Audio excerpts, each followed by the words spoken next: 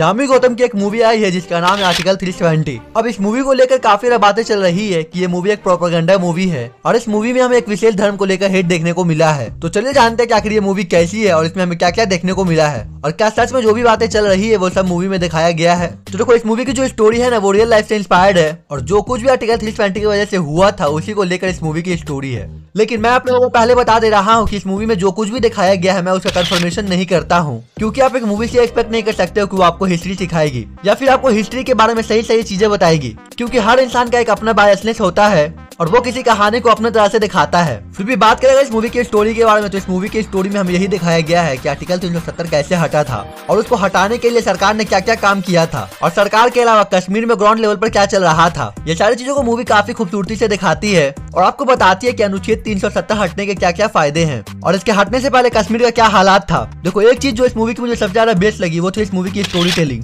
और चीज़ों को समझाने का तरीका। मतलब मूवी में इतने आसानी से आपको सभी चीज़ें समझा दी गई हैं, जो कि अगर आप ऐसे समझना चाहोगे तो आपको काफ़ी ज़्यादा कठिनाइयों का सामना करना पड़ेगा। इसीलिए मूवी में जो चीज़ें समझाने का तरीका है ना, वो बिल्कुल ही एक यूट्यूब वीडियो जैसा है, जिसको देखने के बाद आपको हर बात क्लियर हो जाएगी कि आखिर क्या हो रहा है और कैसे हो रहा है। बिल्कुल उसी तरह से जैसे कि आप स्कूल में कोई मैथ को समझ नहीं पाते हो, लेकिन वहीं पे जब घर आकर आप यूट्यूब वीडियो देखते हो तो आपको सारी चीज़ें समझ में आने लगती है। तो उसी चीज़ को इस मूवी में इस्तेमाल किया गया है। इसके अलावा इस मूवी में जो कास्टिंग थी ना एक्टर्स की, वो काफ़ी ज़बरदस्त थी। क्योंकि मूवी के जो सभी एक्टर्स थे ना, उन्होंने अपने परफॉर्मेंस एकदम हंड्रेड लेवल पर दिया है। जिनको देख कर लगता है कि हाँ ये होता है एक असली परफॉर्मेंस अब चाहे हम बात करें प्रिया मनी के बारे में या फिर यामी गौतम के बारे में, भाई यामी गौतम ने तो इस पूरे मूवी को अपने शोल्डर पे कैरी किया है और इस पूरे मूवी में उनकी ही परफॉर्मेंस एकदम निकल कर आती है। साथ ही में प्रिया मनी का जो कैरेक्टर था, वो भी अच्छा था, लेकिन उनका कुछ ज़्यादा रोल था नहीं इस मूवी में। लेकिन उनको जितना भी रोल दिया गया था, वो अपने रोल को काफ़ी अच्छे से प्ले किए हैं। इसके अलावा इस मूवी में मोदी जी और अमित शाह भी थे।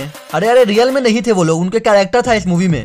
और दूसरे एक्टर ने उनके कैरेक्टर को प्ले किया है। तो पहले बात करते हैं मोदी जी के कैरेक्टर के बारे में, जिसको प्ले किया है अरुण गोविल जी ने, जिनको आप लोग दूरदर्शन के रामायण से जानते हो। इन्होंने उसमें राम जी का कैरेक्टर प्ले किया था। अब देखो, एक मूवी में जो मोदी जी का कैरेक्टर था ना, वो काफ़ी चुप चुप रहते हैं, क्योंकि उनको ज़्यादा डायलॉग्स नहीं दिए गए हैं। और सच बोले तो मूवी में अरुण गोविल जी को देखकर नहीं लगता कि ये मोदी जी का कैरेक्टर प्ले कर रहे हैं। वहीं पर जिस बंदे ने अमित शाह कैरेक्टर प्ले किया है, जिनका नाम है किरण करमारकर, इन्होंने अपने कैरेक्टर को काफ़ी अच्छे से प्ले किया है। और इनका काम मुझे मूवी में काफ़ी ज़्यादा पसंद आया है। क्योंकि इन्होंने अमित शाह के बोलने के एक्शन को भी पकड़ा है और अमित शाह का वो लेजेंडरी डायलॉग को भी बोला गया है इस मूवी में, जिसको सुनने के बाद पब्लिक एकदम पागल हो गई थी कि जान दे देंगे, क्या बात कर रहे हैं आप? इसके अलावा मूवी में और भी कई सारे कास्ट थे जिनका नाम मुझे अभी नहीं पता है। तो उन सभी का एक्टर भी मूवी में काफ़ी इंपॉर्टेंट और अच्छा था। जिसको उन्होंने मूवी में बाखूबी निभाया है। साथ ही में इस मूवी में पुलवामा अटैक को भी दिखाया गया है। और वो कैसे लिंक था आर्टिकल तीन से इसको भी बहुत अच्छे से बताया गया है इस मूवी में। बाकी जो लोग भी ऐसा कह रहे हैं कि इस मूवी में किसी पार्टी या फिर धर्म को नीचे दिखाया गया है, या फिर उनको बुरा दिखाने की कोशिश की गई है तो ऐसा कुछ भी नहीं है। जो लोग भी ऐसा कह रहे हैं, वो लोग इस मूवी को नहीं देखे हैं शायद, इसीलिए वो लोग ऐसा कह रहे हैं। क्योंकि मूवी का मकसद ये था ही नहीं कि किसी पॉलिटिकल पार्टी को व्हाइट वॉश करे,